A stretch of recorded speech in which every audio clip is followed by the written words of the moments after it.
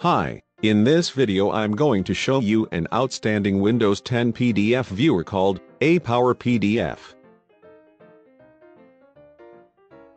By using this program you will be able to edit a PDF document either by adding text or image.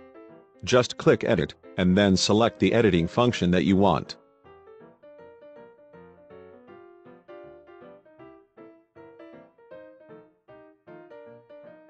In case you need the PDF file in another format, then you can do it easily by using the tool's convert function.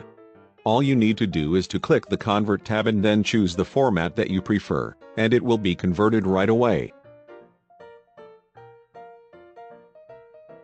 Moreover, this tool can also be used to create new PDF file either from the scratch or by using a previous files.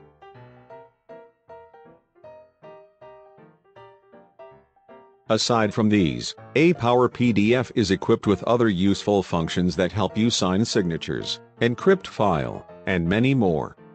It is indeed a great application that is worth trying.